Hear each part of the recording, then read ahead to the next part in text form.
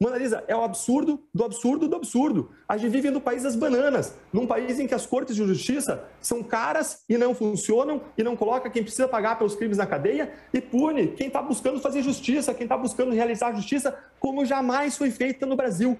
Quando o senhor fala, então, entregar para o cara, o cara é o ex-presidente Lula, eleito duas vezes, é, que aparece em primeiro lugar em todas as pesquisas eleitorais até o momento. É o eu gostaria, procurador, um procurador, por gentileza, quando eu estiver falando, espere eu terminar, né? É, é mais gentil assim, aí eu termino Com a certeza, pergunta. Marisa, desculpa, o senhor, eu problema indignado. algum, mas a pontuação da elegância ela é sempre muito bem-vinda.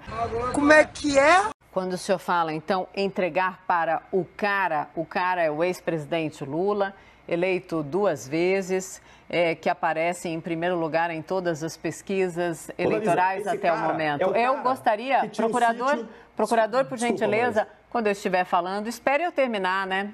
É, é mais gentil assim, aí eu termino Com a certeza, pergunta. Desculpa, o senhor, problema indignado. algum, mas a pontuação da elegância ela é sempre muito bem-vinda. Tá um clima muito pesado aqui. Nesse momento, o senhor tem condições financeiras de pagar o que está sendo uh, cobrado? Ou o senhor vai ter que recorrer a algum tipo de empréstimo, ajuda? Claro que ainda cabe é, um recurso, né? O senhor pode recorrer, o valor, inclusive, do que está apontado agora nas reportagens e na repercussão, é menor do que até que, de fato, o senhor possa ter que pagar. O senhor tem condições de pagar? Carolina, a gente vai recorrer. Mona Lisa.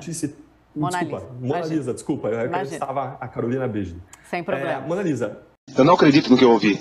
Carolina, a gente vai recorrer. Mona Lisa. Se... Mona desculpa, Lisa. Mona Lisa, desculpa.